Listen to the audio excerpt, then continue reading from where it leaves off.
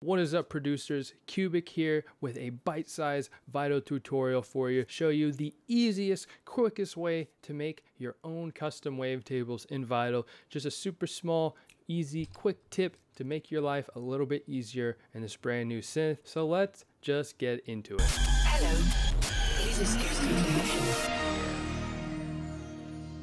Alright producers, I am here at the Vital Initial preset and I'm basically just going to show you a super easy, quick way to make your own wavetables in Vital. No sweat. It's literally probably the easiest trick I can show you. It's a brand new hidden feature that I recently found. It's as simple as, hey, I, do I want this LFO to be a, a triangle wave for my wavetable, for my first oscillator? Well, it's as simple as going copy, paste, boom triangle wave? Do I want to make a square wave? Or no, do I want to make a crazy, like, like multiple saw waves?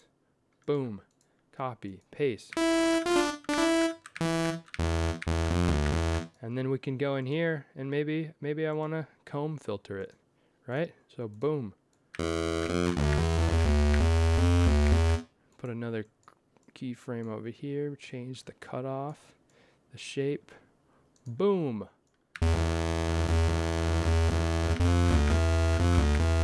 Boom. That's, look how, like, I don't know what time it is, but that had to have been like under a minute how quickly I was just able to make my own wavetable. I mean, boom, bam.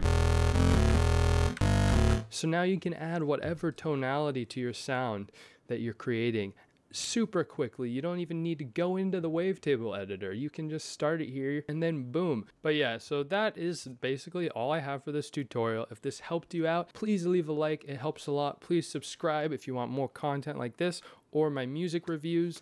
And yeah, uh, let me know if this helped. Let me know if you have any other questions. Just a super quick hidden feature, quick tip to show you guys in Vital. Hope it helps you out in your production. And yeah, have a great one, everybody.